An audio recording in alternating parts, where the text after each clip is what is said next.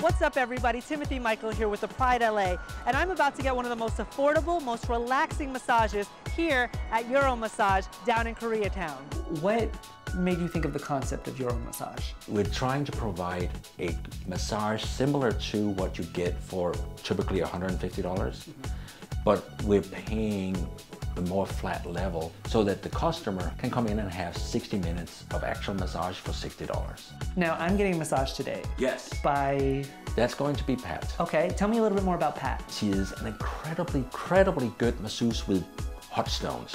Okay. I would I would have to call her a hot stone artist. Hi Pat, I'm Timothy. Nice to meet you. Nice to meet you. Bo told me that you give a very good hot stone massage. Yes. Yeah. Uh, you take a clothes off, leave the underwear, and you face down under the sheet. What kind of massages do you offer here? There's the big ones, like the Thai massage is a stretching experience with some pressure points.